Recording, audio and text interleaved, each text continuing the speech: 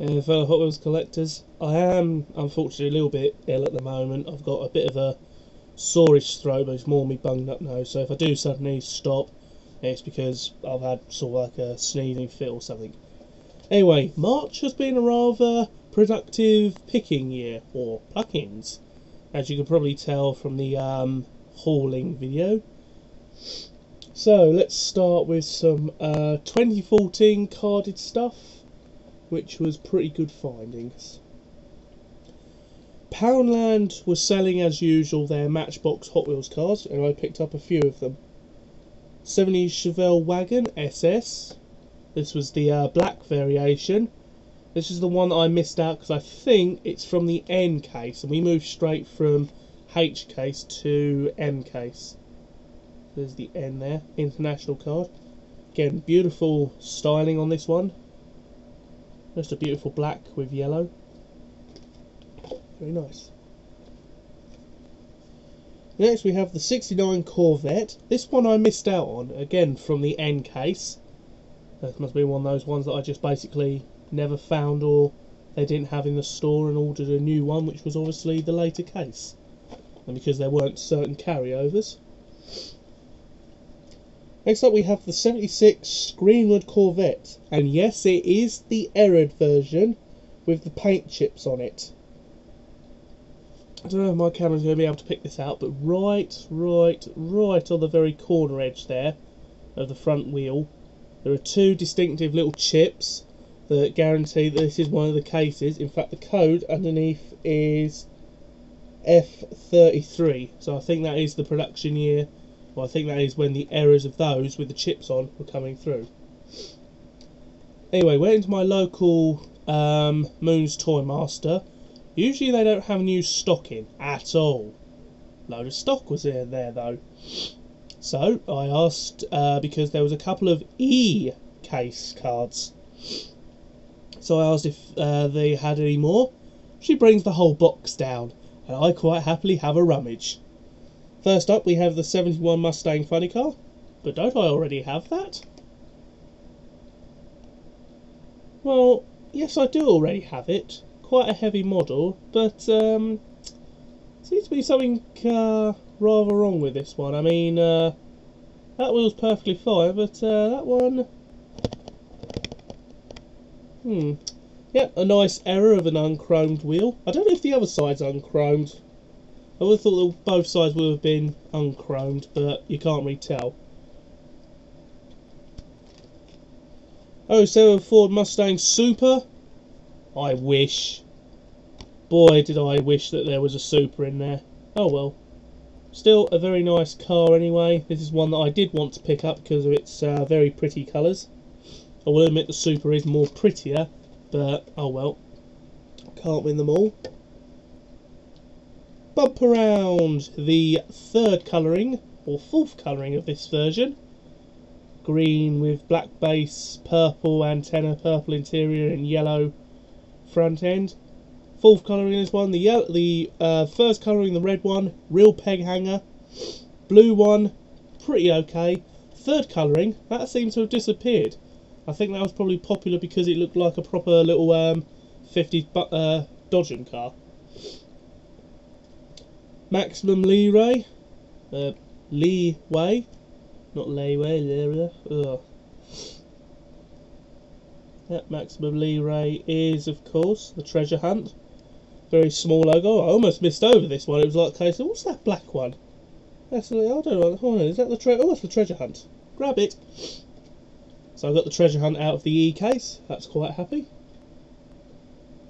Max Steel motorcycle previous video I got the blue uh, Max Steel 4x4 thingy.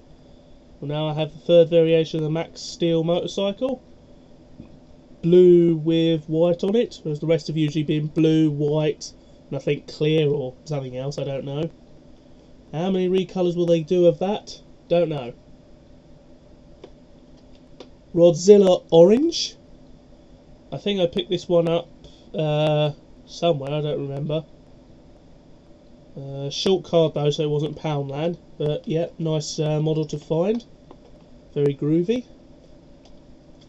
And as well as that, oh Tesco's in uh, in a Newmarket, or it might have been Ely, I can't remember now. But I got the 69 Ford Torino Talladega. Very nice uh, colouring this one. Beautiful colouring. It's a good thing actually my mind is still working as there were quite a few cars in that E-case I didn't know I had or hadn't had. Anyway, went back to Poundland. Surprisingly all the 2014 models have sold out. So they got some older 2013 stock. How much older? Um, I don't know because these don't have production dates on. But I got the Porsche Cayenne Turbo. Not a popular model this, but uh, I like it in this nice uh, cherry red. Hello, glare. There we go. Nice uh, cherry red colouring. Very pretty colouring indeed.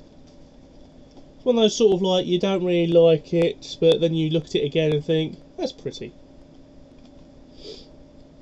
We have the Aqua King. I thought this was actually called the um, food truck at first, because I thought, oh, it's the food truck. No, it's the Aqua King.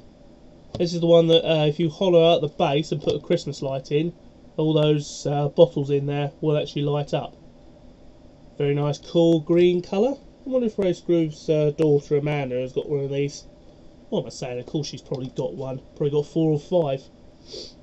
Which I will come to on in a moment. Next up we have the express delivery. Another one that I must have missed out on. We don't usually get very much uh, Matchbox around our way. Usually sort of like uh, when Poundland gets them in, that's how I... We get the odd one here and there, but usually most of my Matchbox stuff is long carded or the 60th anniversary. 2013 Ford Explorer. This was uh, one of the police range that I missed out on. I think it might be a case of brought all the others but missed that one out. Still nice though. Audi R8. I think I missed out on this one mainly because um, I just didn't like it at the time, but now that's very pretty. Nice blue, shiny little bit of silver there. Very cool model. Now we move on to the 2014 cards. How do I know they're 2014? Well, purely because of the uh, shape. Slight gap on the side, groove taken out of that corner. Now this first one is the Dodge Monaco police car. I didn't just get one, Oh no, I'm being like all you USA people who grab like a four or five models of the same car. Yeah, so I cleared my Poundland out. So I got one, two, three. I think that was all I got was three. Oh no, there's the fourth one. Four. I got four non-errored. I have checked them all for errors. Well, I got four 2014. Ooh, have to zoom out a bit here of those. And they did have another one there. In fact, they had two on 2013 cards. Hmm. But either way, I decided to grab all of those because why not? I mean, all the USA people go around grabbing like four or five cars of these and then apparently selling them or trading them. Yeah, right. Yeah, selling and trading to YouTube friends, as in people who probably only live a couple of states away not selling them to sort of like UK countries or places that will cost far too much money. Oh yeah, yeah, we'll just sort of like hoard them up. And let's sort of like show them off on our channel. Oh yes, I found three, four supers, which I'm now going to stick on eBay for like twice as much. But anyway, going back, I also found this MBX Coupe.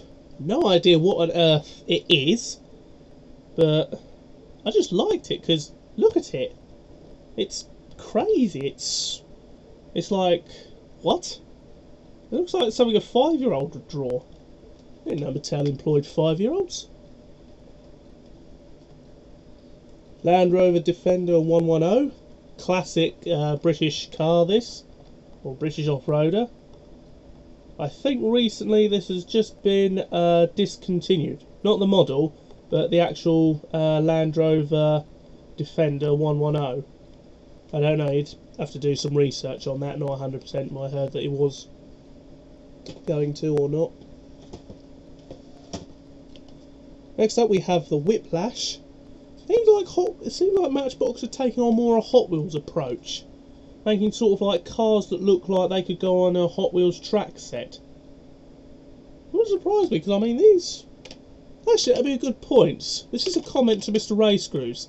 Can you kindly sort of like test this one, the uh, orange one I just showed, and then test this one out to see uh, which one is the more better on a track? Because I mean they are absolutely perfect. Excuse me a moment close the door so my dog's woofing doesn't get on the uh, channel. Next up we have the Desert Thunder V16. Very uh, interesting Tampo designs on this one. Because apparently it's got a dinosaur on it. Whether they're sort of like... Uh, it's got T-Rex transport. Yeah, it's either a case of the scientists really messed up and basically made a T-Rex but it was teeny tiny because a T-Rex would basically probably pick that up and chuck it over like a five-year-old having a tantrum. Well, no referencing to little kids today, I don't know why. Anyway, 66 Dodge A100 pickup truck. I already found one of these on a 2013 card, so I thought, oh, why not have a 2014 version as well? Nice to see this one carried over. Spotted this one again in Poundland, but because I already had that one and already had the other one, no real particular need for it. Ah, one for Stephen Lum, he'll probably want this one. The Porsche 911 GT3. I was debating whether to buy another one just in case anybody needed it, but I thought, nah, I'll probably get it. Ooh, a lot of glare there. Again, absolutely lovely orange. Wouldn't mind seeing this one again, perhaps maybe in a blue, a green, a red, maybe. Be very nice.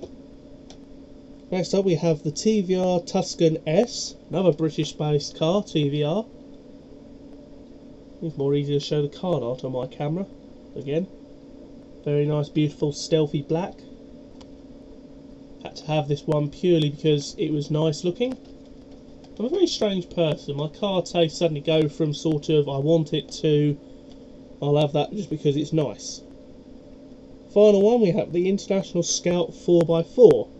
This one I just like because it was purple and it also sort of looks like a Jeep. Big bulky tyres, very cool looking model. Oh, very nice indeed. That's the last of the carded artwork. we now move on to the uh, loose ones that I've found recently. Mostly in Cambridge and Newmarket mixture. First up we start off with the little Sam Stinger or little quad dirt bike thingy. I think this is from a five pack I seem to remember. Not much Tampo design on it. It's quite an old one this, it goes right back to 1986. Nice little model anyway. Next up we have the Matchbox uh, Ground Breaker. This is a very nice classic construction vehicle. Yes, it does have a working part. That moves up to lift it up a little bit. And if you want to sort of make a YouTube video where it tips where it tips itself up, it can also go back to there. Again, other than that, it goes down as well, but I don't think it's meant to. But still a nice little model to have. Cool little find. Next we have the tractor plough. This might be from a 5 pack or a multi pack. Because remember these ice frosty wheels. Model's still around, I have seen it in 2013 in Poundland, blue variation. It's all a metal scoop that, I thought that would have been plastic, but no, it's been made into metal. Base is metal, little cab part is metal, the only plastic bit is a little plastic insert, that little grey bit. That's cool. Also from that set is this very nice uh, dump truck. It's got the same wheels as the other one. It's also in green. Another one that probably Race Cruiser Man will probably want, or has already got. Again, very basic green Tampo. The only thing on the side is something says rental rentals car. That's what it says on the side, rentals car. No idea what that means really, but still nice anyway.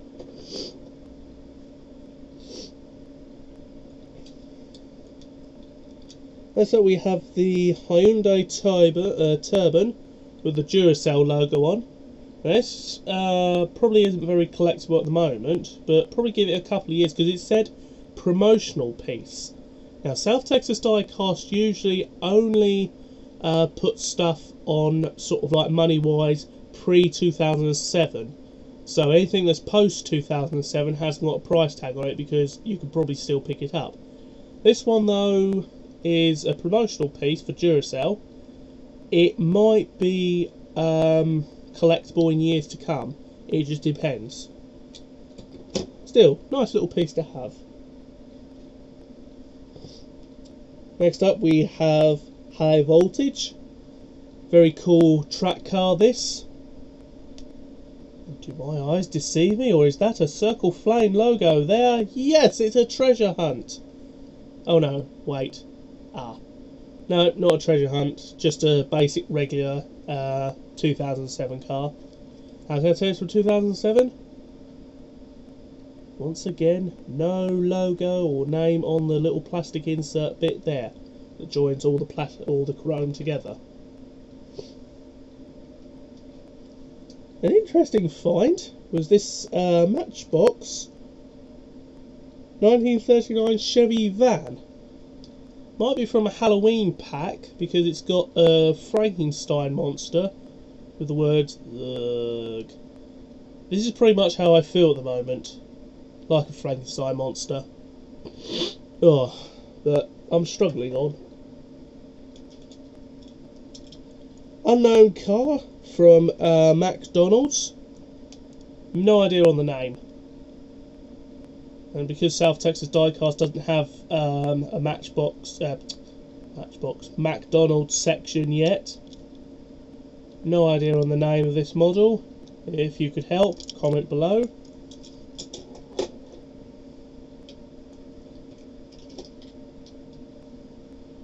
Probably one of the only more popular models from 2004, the 49 Merc Cruise one, or the Grewing one. This has got a shapeshifter it. This is a pretty creepy vehicle. Awesome creepy tampos on the side. I think it's really the top that gets hit. That is just incredibly creepy. Very cool um, colour though, nice brown. Again, a lot of 2004 cars didn't make it onto. I think that one might have also been from a 5 pack, I don't know. I love my Majoretti toys, and of course I happen to find this one Majoretti. Sadly missing the tow hook, but still a nice overall little tow vehicle. Still got the glass on the top here. Nice little uh, front end. It's probably either a Jeep or a uh, Pioneer. I'm not 100% on this. Still very nice to have though. Very cool little model.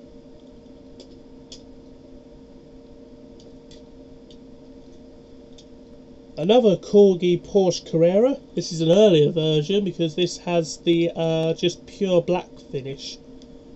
The later version had uh, Porsche written on the side of it, and I think also had the uh, logo on the hood. But other than that, though, this is the replacement, or this is the uh, casting that Hot Wheels took on for quite some time before final running it, which was a shame. But that sort of thing happens. Now, the next one is probably a bit of a complaint to Matchbox, and I can probably see why a lot of parents did get this model discontinued or at least stopped. It's the classic 63 Cadillac hearse. I love me my hearses, and this Cadillac is gorgeous, but with Scooby-Doo on it. Hmm, that's a little contradicting that. Sorry if you can hear that, that's my dog woofing. Stupid thing. But again, it hasn't got much on it. It's just got uh, Velma and Fred on it, and Shaggy and uh, Daphne on the other side, and with Scooby's logo on the side there. Possibly from a five pack. And you can see Shaggy and Daphne, and the other side, Velma and Fred. So again, an interesting model because uh, it's a hearse and it has Scooby Doo. Hmm. Uh, car up for trades or possibly just swap. It's the Jet Threat 4.0, 2007 model, I think. But as you can see, it's missing something on the top. It's missing this little plasticky bit which pops off. So again, that'll be up for trade. So if you need a metal base for something, you need these gold wheels or plastic body parts, I don't care.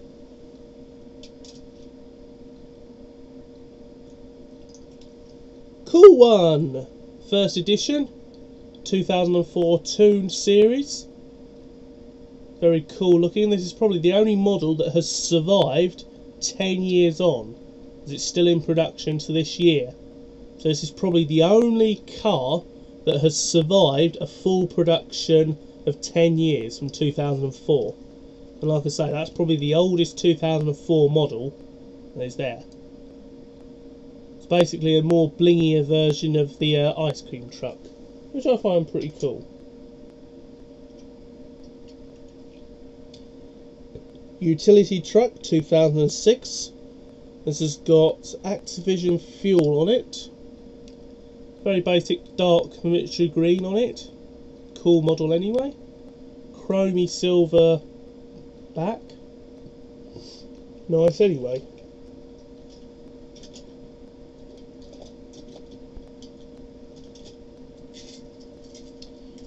Another Corgi. We have a Corgi Mercedes-Benz 420D with Team Car. Yeah, Team Car. That's as basic as sort of like an Action 52 game. Team Car, go! Yeah, except for at least with Action 52, these are more popular.